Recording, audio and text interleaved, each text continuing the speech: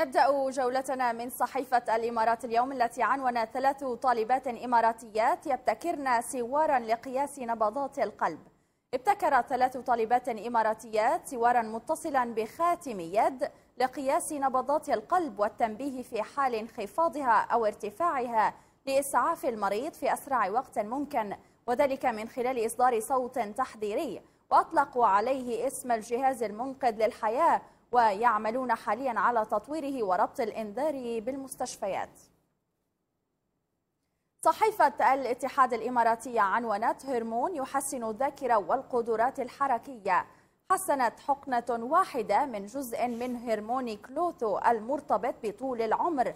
الذاكرة المكانية لدى فئران وذاكرة العمل لديها ونشطت خلاياها العصبية على ما أظهرت دراسة واعدة في معالجة أمراض عصبية لدى البشر.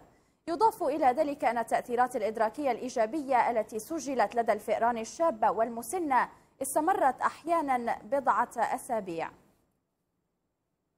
وإلى صحيفة القبس الكويتية التي عنونت كعكة فواكه عمرها 106 أعوام محفوظة تماما. عثر علماء من نيوزيلندا على كعكة فواكه عمرها 106 أعوام محفوظة تماما وصالحة للأكل في كوخ نائم بالقارة القطبية الجنوبية.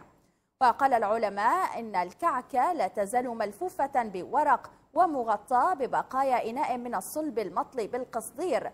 ويعتقد العلماء أن الكعكة تعود إلى الفريق الشمالي للمستكشف روبرت فالكون سكوت من عام 1911 وإلى صحيفة البيان الإماراتية التي عنونت فندق يسجن نزلاءه داخل زنزانات.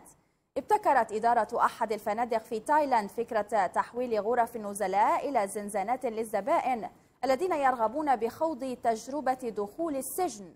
ويقدم الفندق لنزلائه تجربة فريدة من نوعها تتمثل في إقامتهم داخل زنازين تشبه إلى حد بعيد زنازين السجون الحقيقية.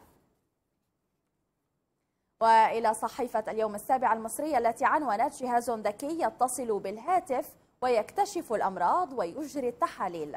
طور مجموعة من الباحثين جهازا ذكيا جديدا يحمل اسم TRI يتصل بالهاتف الذكي ليمكنه من إجراء تشخيص طبي إذ يعد بمثابة مختبر محمول يستعين به المستخدم في أي مكان.